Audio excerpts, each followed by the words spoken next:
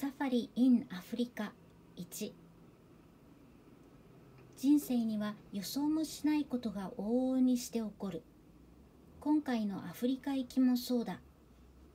世界地図を広げてみると真ん中に日本右端にアメリカ大陸日本に覆いかぶさるようにユーラシア大陸中央の下にオーストラリアそして左の端にアフリカ大陸が載っている。ブラジルもオーストラリアもロシアもインドも中国もそれぞれそれなりに一応の親近感がある。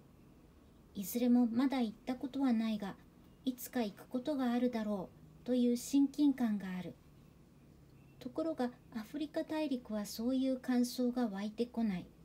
じっと見ていても相変わらずあるのねそこに。というよそよそしい感想しか湧いてこない。なんとなく気が合いそうもない人と対面していて早くお別れしたいと思うのに似ているような気がする。アフリカ大陸に対してはそういう対応の仕方で人生を過ごしていたある日アフリカに行ってみないか？という降って湧いたような誘いを受けた。先輩の佐藤三平さんから受けた。三平さんは数年前にアフリカに行きたちまちアフリカにはまってしまったのだ。アフリカにはまる日本人は多い。渥美清氏羽生進氏碇谷長介氏なども一回行っただけでアフリカにはまったと言われている。どういうところにはまるかというと広さにはまるらしい。例えばケニア地方はほとんど起伏がないので一望千里が5丁でも何でもない。一軒全土が見渡せる。360度が地平線。と言われているような広さが日本人にはどうしても理解できない。北海道に行って広い広いと言ってるのと桁が違うらしい。そういう広いところへ行って大自然の風に吹かれ手が届きそうな星の光に照らされメラメラと燃える巨大な太陽の日の出を目の当たりにすると人生観が変わると言われている。うーん変えられるものなら変えてみたい。どうだ行ってみる価値あるだろと三平さんは言いそればかりではない。そういう一望千里の大平大草原に動物図鑑をぶちまけたように動物たちが駆け回っているんだ。なんだか行ってみたい気がしてきた。象キリンカバシマウマヒョウライオンワニハイエナチーターイボのイボイノシシハゲワシダチョウ。つまりそういう動物たちが放し飼いになってるわけ？放し飼いではない。飼い主はいないわけだから。あそうか。餌をくれる人は誰もいないわけだから。あそうね。みんな野良状態でいるわけだから。そうか。みんな野良か。野良カバ。野良ライオン。野良ワニ。野良ゾウそういう連中が大草原の中にごっちゃになって生息している。そうか。それぞれの間に柵がないわけだ。ライオンはシマウマを襲って食べる。ハゲワシはハイエナが食べている肉を狙う。NHK の番組でよくやっているあれね。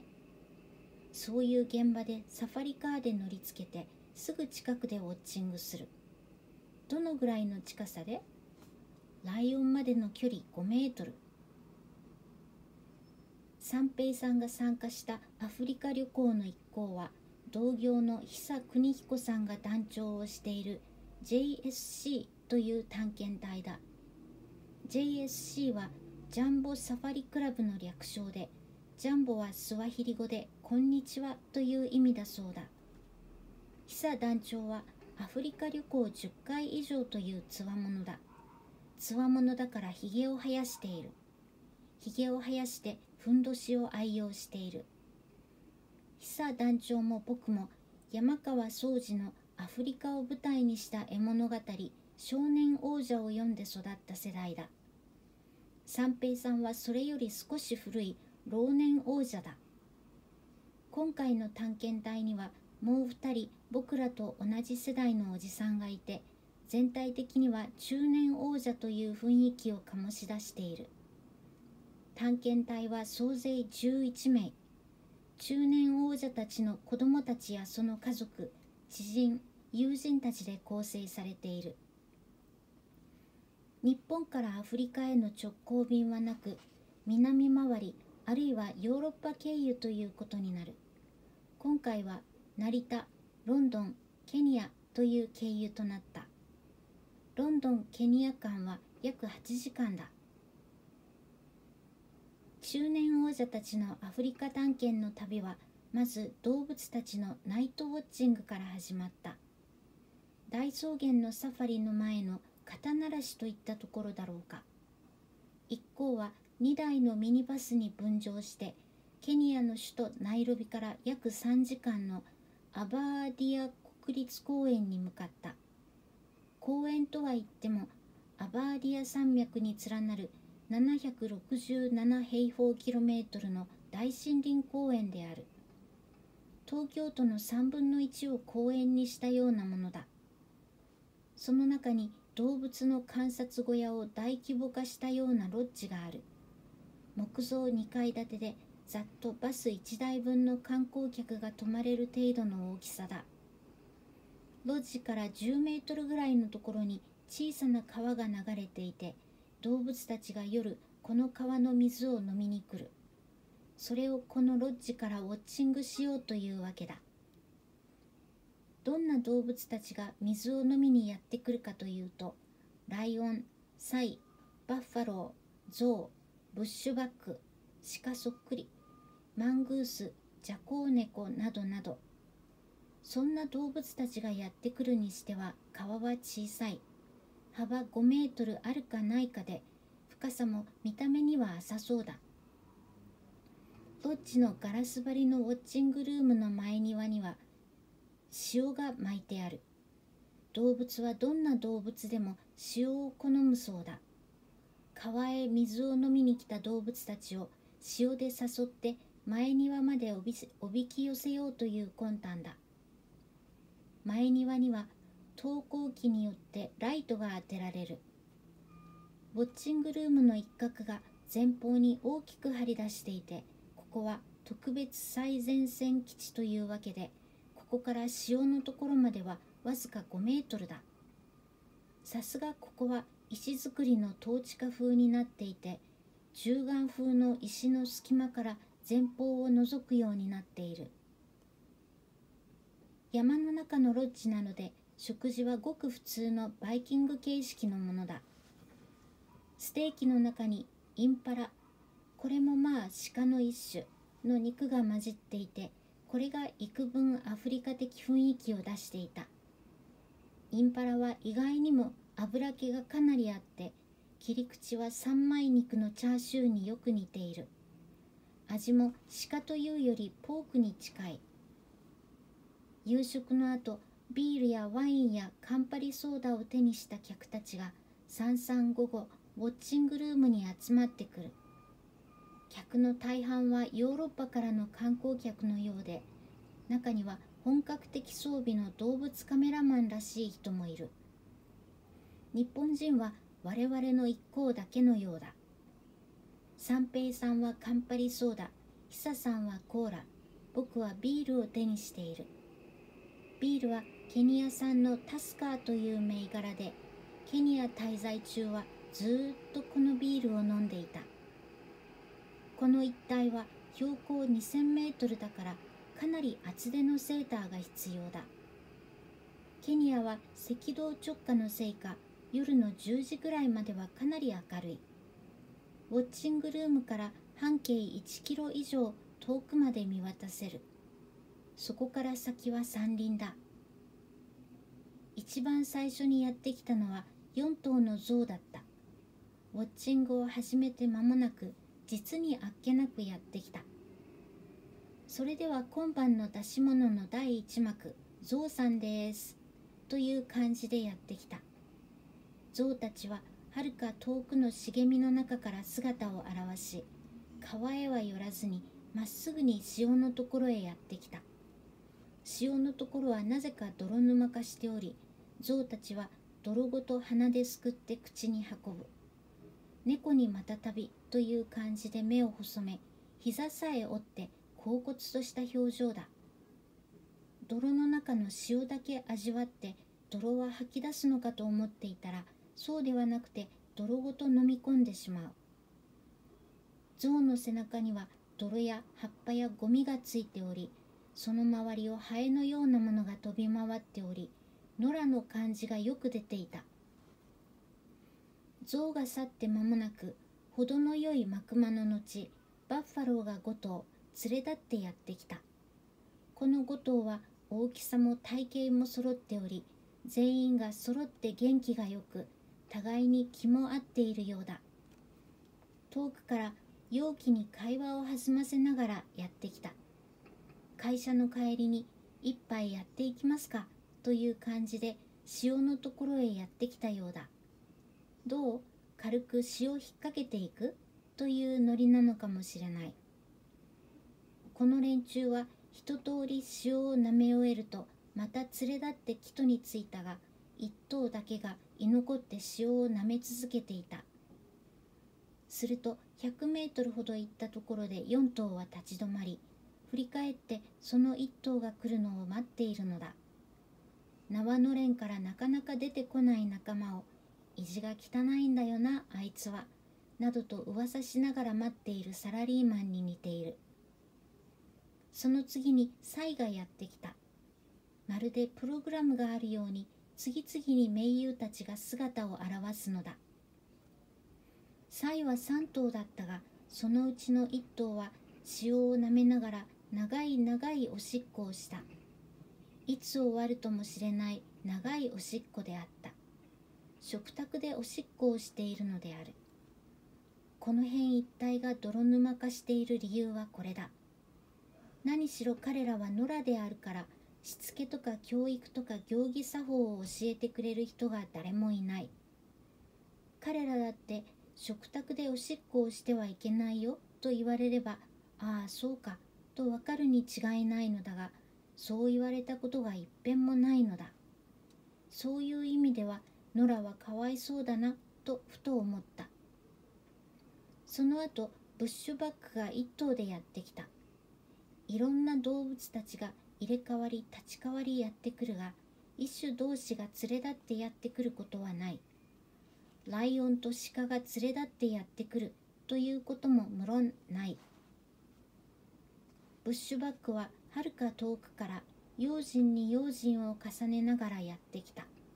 数歩歩いては立ち止まり周りを見回してはまた歩く。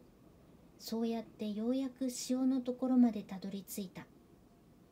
ブッシュバックは NHK の動物番組などでライオンにいとも簡単に襲われてバリバリと食べられてしまうかわいそうな動物だ。か細い体とか細くて長い足と可憐な要望が頼り投げだ。たった一頭というのが観客たちの不安を一層駆り立てる。ブッシュバックは首を下げて塩を舐め始めた。5秒間首を下げて塩を舐めるとさっと首を上げて辺りを見回す。見回してまた5秒間塩を舐める。ごくまれに8秒間10秒間というのがあるが測ってみると塩を舐める時間はきっかり5秒だ。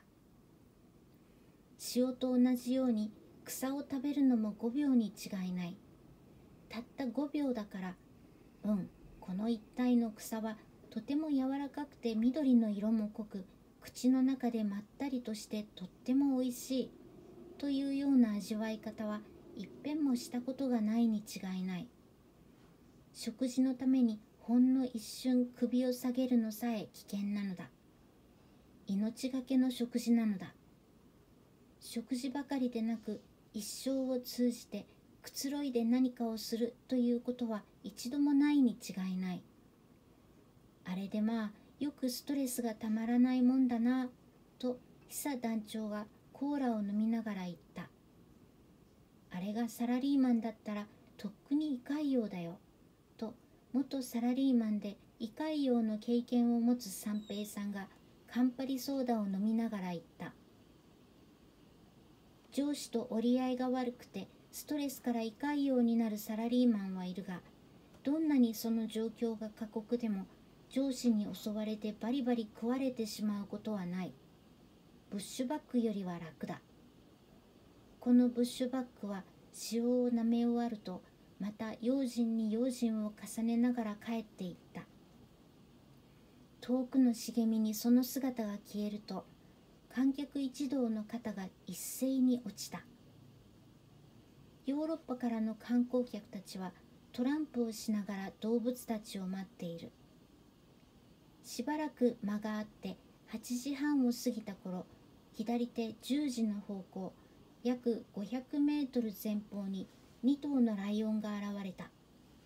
1頭は寝そべり1頭は座って前方を見つめている。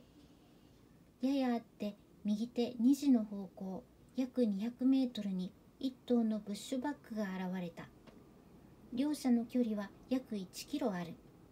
その間には草むらなどあってブッシュバックはライオンの視野に入らないようだ。見えさえすればライオンは餌に近寄っていくはずだ。観客たちの間に緊張が入った。ライオンに教えてやりたいね。あそこにいい子いますよって。久団長が言った。いい体してますよって。と三平さん。そのまま30分が経過した。動物のウォッチングは気が長くなくては務まらない。それにしても何とかして両者を引き合わせてあげたい。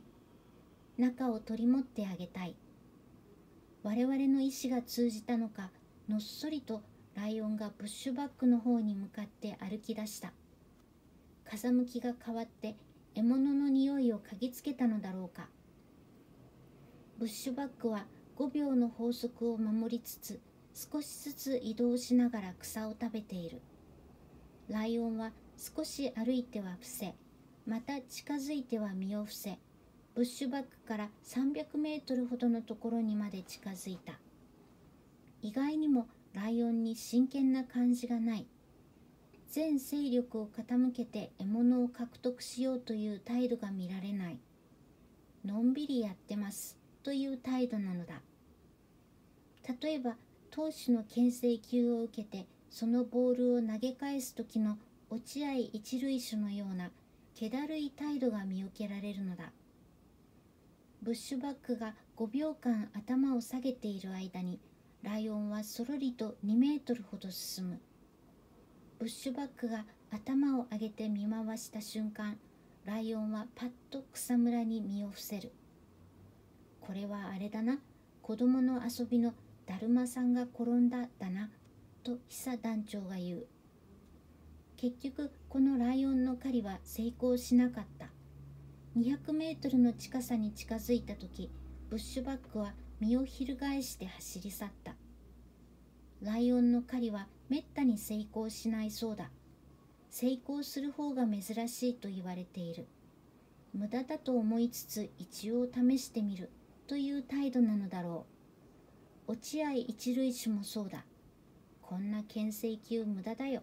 と思いつつ一応受けて一応タッチしてみる。